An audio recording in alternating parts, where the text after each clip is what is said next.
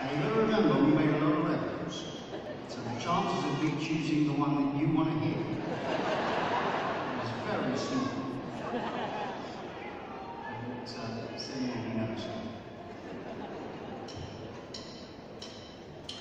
someone who knows. Thank